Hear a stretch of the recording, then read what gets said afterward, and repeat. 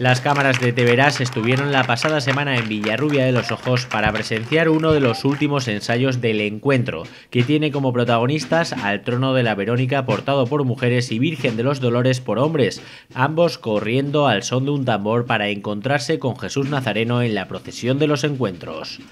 Con más de 1.200 hermanos, los primeros documentos de la Hermandad de la Soledad, Veracruz y San Cristóbal datan de 1614, pero se sabe que el inicio de la cofradía es anterior.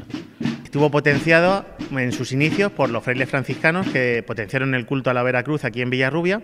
y posteriormente la hermandad tomó la titularidad también de la, de la Virgen de la Soledad porque había aquí una ermita que se arrumbó y bueno, pues esta hermandad fue la encargada de reconstruirla y desde entonces empezó a llamarse Hermandad de la Soledad y de la Veracruz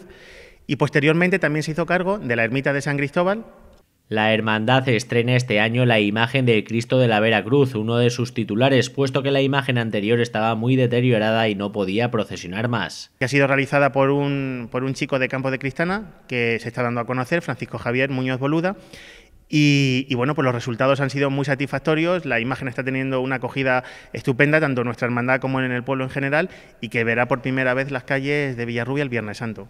La hermandad procesiona la tarde del jueves santo en la procesión de la flagelación y de la Virgen de los Dolores, para posteriormente salir la Verónica con las Santas Mujeres y el paso de la Virgen de los Dolores. El viernes santo de madrugada se produce una de las procesiones más emotivas con los encuentros y el viernes santo por la noche salen en procesión con los pasos de la Virgen Niña, el paso del Calvario, la Piedad y Nuestra Señora de la Soledad, acompañada por las mujeres vestidas de mantillas y las amortajadas, siendo el el único pueblo de España que sale de esta forma.